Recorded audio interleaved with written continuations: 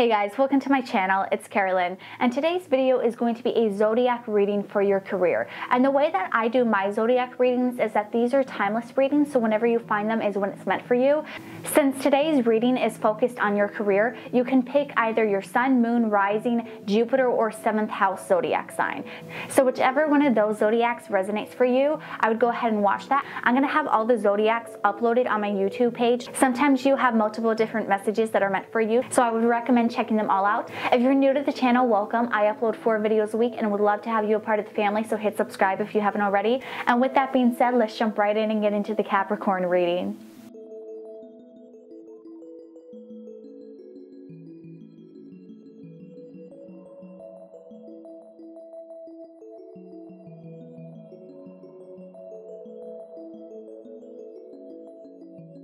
So I feel like recently you have been doing things half-assed. I feel like you haven't been fully committed to them and I feel like you are waking up to that. I think you realize like, hey, I'm doing a really shitty job right now. I'm not putting in the effort I need to. With the High Priestess reversed, I feel like something with your career is blocked right now and you understand that. I feel like you're becoming aware of that and with that Two of Cups, I feel like this could be someone coming into your life that kind of called you out, that kind of gave you a wake-up call or they are going to give you a wake-up call where they're not letting you get away with this shit. They are really being hard on you because they want what's best for you.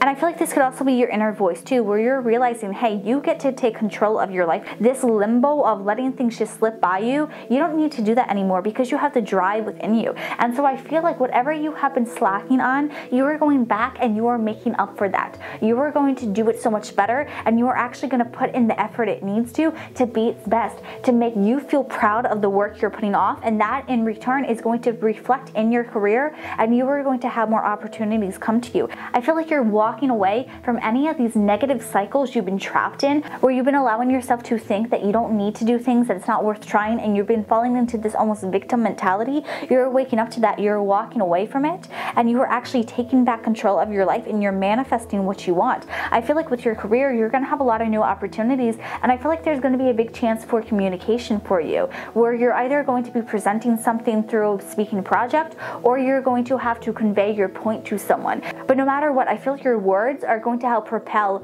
your career in the direction you need it to. So if you want to get something, make sure that you use your voice, that you stand up for yourself and you actually say what you want, that you use your words to prove why you're worthy of this, why you should get this new opportunity. Why do you do things? What's the what's the motivation for your career? What is your goal? Once you find those answers and you actually take control about what you want, you're going to have a lot more opportunities come your way because you're going to have your mission statement for who you are, for what you want to do. I really feel like this is the time where you are realizing that you've been slacking and now you're realizing why you don't want to slack, why you actually appreciate your job or your career. And if you're currently not happy with what you're doing, you're going to realize that and you're going to communicate that and you are going to quit your job and actually go and pursue something that you want to do because again, you are cutting ties of anything that's negative, of anything that's holding you back and you are allowing the new opportunities to come and to help you and you are going to get a lot of new opportunities because once you let go of the things that are keeping you out of balance, you are going to be able to attract and manifest things so quickly, especially with that Capricorn energy, because you have that willpower and strength and determination within you. You are not going to let go. And so I definitely feel like there's going to be a lot of growth and a lot of money coming in with your career. And especially if things have been slow now, if they're not working out, you're going to realize what's been holding you back and you are going to go and get what you want. So definitely pay attention to the words that you say, the thoughts that you have, and make sure that you are letting go of any negative cycles. So I hope this resonates for you guys. If it did, let me know in the comments down below. If you like this video, please give it a big thumbs up and share with others. I post four videos a week and I would love to have you a part of this family, so hit subscribe if you haven't already and turn on that bell notification so you see when I upload my next zodiac reading. I'll see you all in my next video. Have a good one. Bye.